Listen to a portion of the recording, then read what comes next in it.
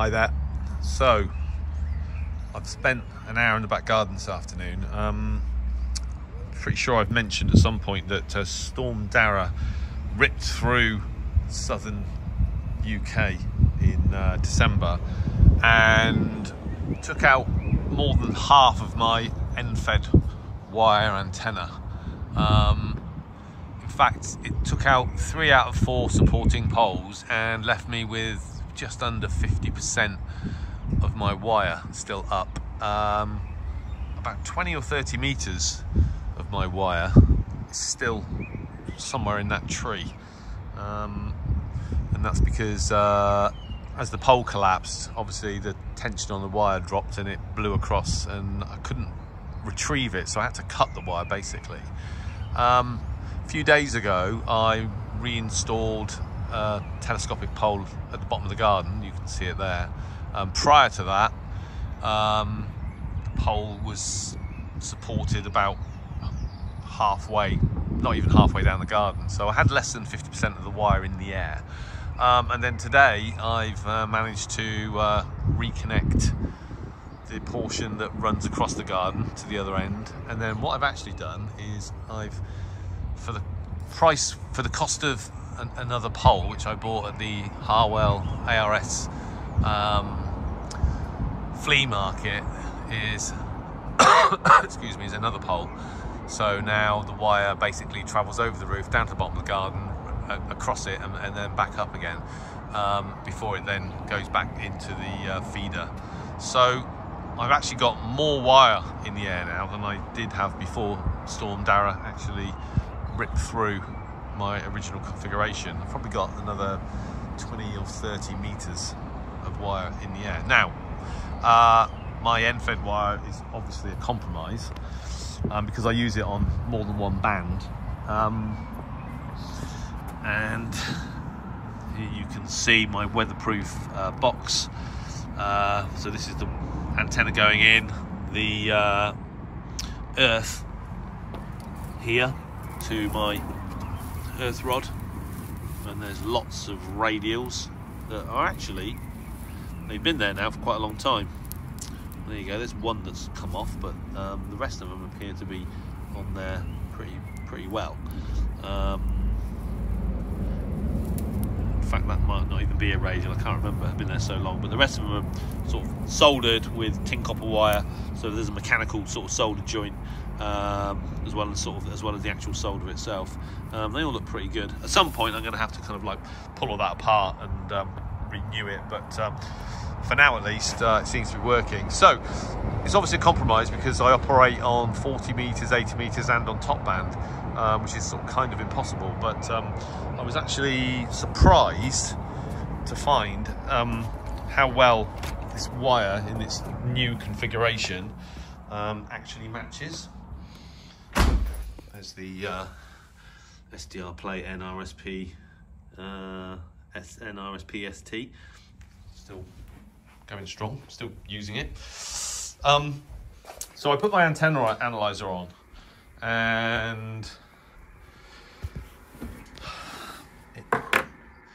I've managed to obtain some really good um, matches across several bands. I'm just going to my analyzer um, for top band, which is typically the most difficult.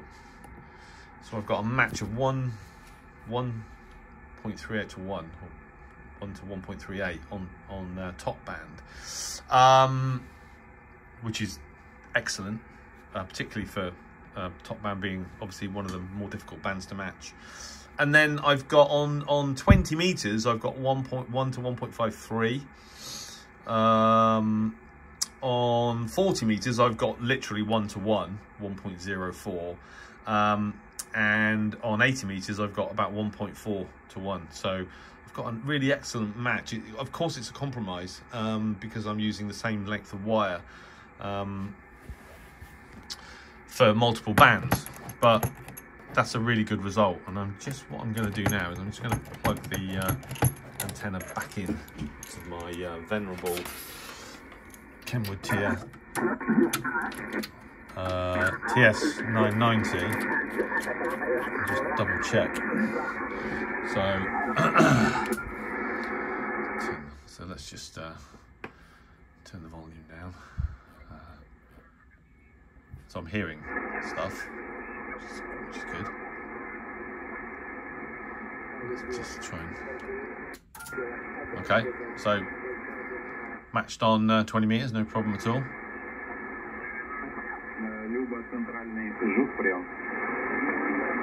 Let's go to 40. En eh, het, je gaf het al aan, ik hoef helemaal niks meer. Hè. Let's see if I can find out. It's actually really busy. Just going to pop him quickly on the, re, on the report.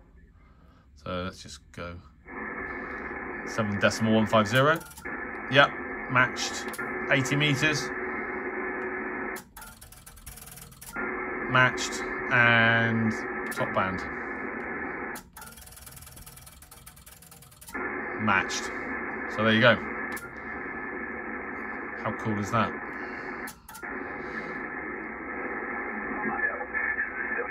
So,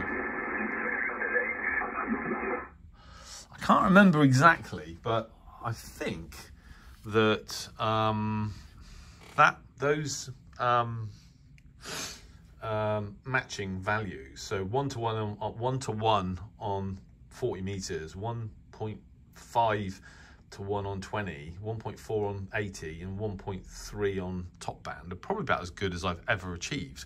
Um, so I'm really happy with that, and thank you, Storm Darragh, for the opportunity to completely rebuild my antenna again, um, and end up with what looks to be a um, uh, a, a a better compromise than I had previously. So uh, anyway, I thought I'd share that with you. And the beauty of doing it this way is that it only cost me 10 quid. So, and that's the kind of antenna upgrade I like. Um, for 10 quid, it's, uh, yeah, it's a no-brainer. So uh, anyway, there you go. If you're about on Wednesday afternoons at 2 p.m. UK time, we start a sked, the sked on 7 decimal 150 megahertz, and then we QSY to 80 meters, 3 decimal 710 megahertz.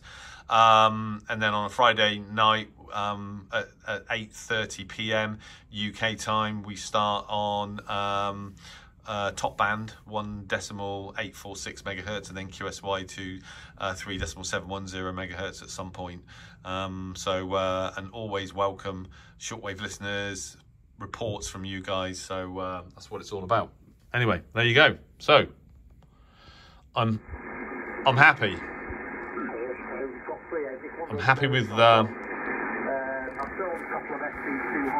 with my new antenna setup, and uh, thought I'd share it with you. Okay, well, thanks for watching, and seven three.